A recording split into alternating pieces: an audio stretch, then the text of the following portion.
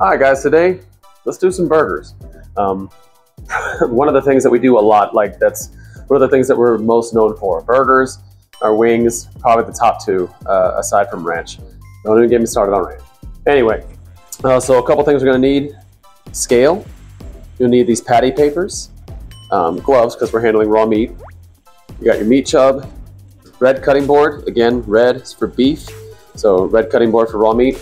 You'll need a shallow Lexan, and then another one that has some ice in the bottom of it to make sure that the burgers that we're prepping are staying cold while we're prepping them. And then just like any other raw product, you gotta go ahead and get one of these drip sets. So go ahead and put that in there for now. Um, so our, to start, our burgers are seven ounces a piece, at least for the regular ones. The kid burgers are half that, three and a half ounces, so it should be pretty easy to remember. If you don't know, um, there are two separate places in both walk-ins that kind of have all the different weights and measurements and stuff like that in them. So um, I personally like to use this knife. Um, you can see somebody use the other offset knife, but you want to use the serrated, which means, you know, it's got these little teeth here instead of just the straight blade knife. Um, because this knife right here, if you use it as a way to measure, gives you almost the correct width of a burger, so you don't have to worry about doing too much adding or subtracting. So to start, I'll go ahead and kind of get this as close to the edge as possible. It's rounded on the edge, so it's not going to be perfect, but as close as what you can get it. And then I'll go through and just start making some cuts, okay?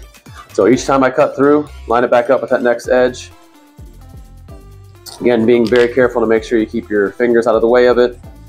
But, and then I'll go through and cut this whole log and then we'll go back afterwards to make sure that they are at the right measurement.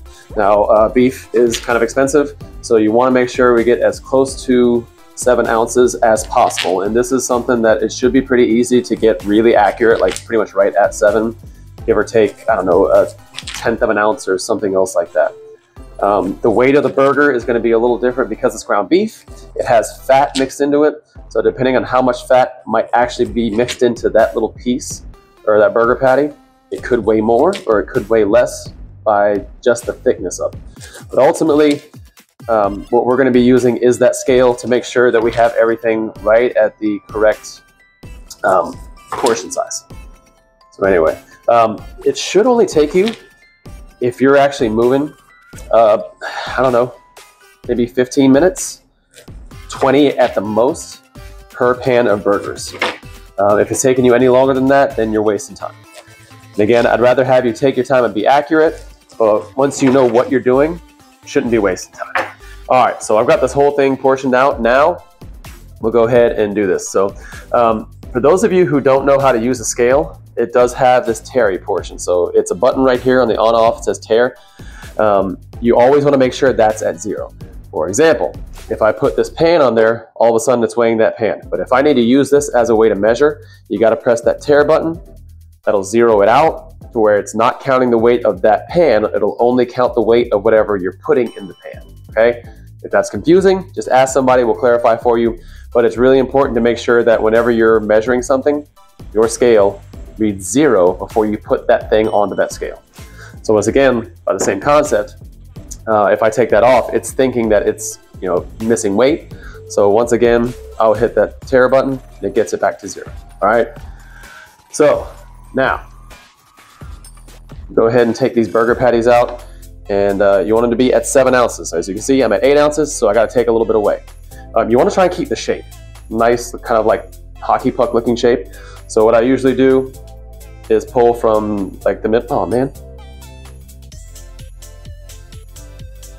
My scale's being a jerk. All right, so I'll pull from the middle. Um, sometimes you'll see people use a knife, kind of level it out. My scale's being a jerk. Pardon me. Technical difficulties. All right, back to our regularly scheduled program. Um, we'll have another video on how to make sure the batteries are weighing out. All right, so we're at 693, 696. So I can get this right at seven, right?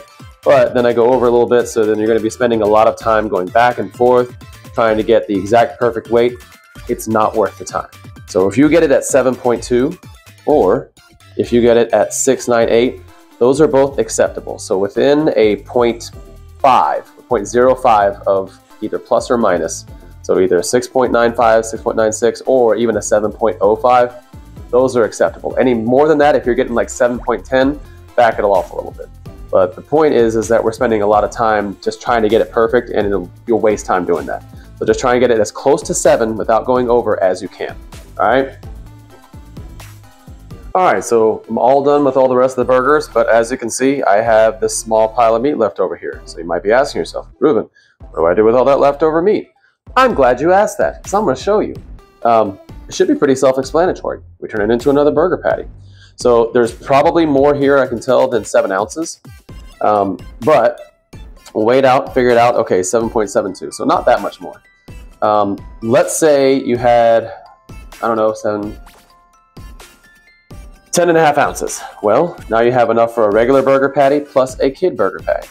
Um, but in this case, we don't have that. So we don't want to waste any. So we have a couple of options here. Um, one, you could just take this tiny little ball of meat that's left over and add a little bit to each patty. Please, that way, we're not wasting it. We're kind of adding some value to the customer. Um, and I mean, it, it's at the end, we're, we're here to provide a service to our customers. So if we give them a little bit of extra in the efforts of trying not to waste, I'm okay with that. Um, the other option is to take it over to somebody who might be working grill and say, hey, I've got this little bit of leftover meat. Um, would you mind cooking it so that we can add it to the chili or something else, okay? But in either case, you never want to waste it. We're not just going to throw it away. Um, and, and, you don't just get to keep it for yourself either, uh, unless you want to somehow like turn it into your meal for that day. All right, so this was more of a, a ball of meat, so you kind of have to do a little bit more work to patty it out and make it look similar to the rest of them. Um, but you know, as you can see right there, it's, it's pretty close. So the next step is we have to press them. Um, this is a really, really important step because you want to have a nice even surface to all the burger patties. Make sure that they cook evenly as opposed to having a bunch of um, bumps and waves and make sure that um, the heat is distributed evenly. To do that, we put these on the patty paper. So one thing you have to be very cautious of because you have raw meat on your hands, you don't want to constantly be grabbing more because then you'll be transferring that meat to that box and the papers that you don't use it's unsanitary and not clean. So what I suggest to people is very similar to when we're doing chicken prep. So take your gloves off. You go ahead and take out a stack of papers. I don't know if this is going to be more or less than what I need, but I know that um, I'm just going to grab some. And if I have to throw a few of these pieces of paper away afterwards, it's not a big deal. Those things cost less than a fraction of a cent per sheet. So it's a very small price to pay to make sure that we're not cross-contaminating and that we're not making people sick. All right, so at this point, we'll go ahead and put the burger patties on these papers. So what I typically see is people will go ahead and lay these patty papers down in the, the Lexan that we're getting ready to store it in. And you can line eight of them per layer. Then go ahead and take this and put your burger patty kind of in the center of the sheet. Doesn't have to be exactly perfect. Um, but you know, do it with care. Not just trying to be sloppy about stuff. Now I'm gonna put another sheet on top of each burger patty. And we're gonna give it a light press to try and make sure that they are just evened out. You wanna make sure that they're not too thin because then we won't be able to cook them to the temperature we want. Um, but just a, a, press to make sure that they're even, like I said, for that cooking process. So now, short six pan, light press for each burger patty. You'll see it kind of spread out and cover the surface of the paper. That's it. And then from here, it's just repeating that process all the way over again with the remaining burger patties. And that is it. All right, so from here, we'll go ahead and make a label. Bam! Uh, so name of the item, burgers, check the day, both the date, and my initial. The label is going to go just like all the rest of the items when we're labeling them on this narrow side, not the broad side. Okay, narrow side, not the broad side. So now I'm going to go ahead and transfer these to the walk-in to cool off. Make sure they're down to at least 40 degrees, um, 41 or below. Uh, and then once that's done, before I leave for my shift, I'll go ahead and leave a note on the board, like so. And then that's really it. So um, after that, uh, before I leave for my shift, I'll make sure to check the temperatures. If the temperature is low enough and it's ready for storage, I'll go ahead and put a lid on it, put it into the walk-in and rotate it to the bottom of the stack. If not, you leave this note up here. You make sure you tell somebody, hey, I checked the temp, but they're still too hot.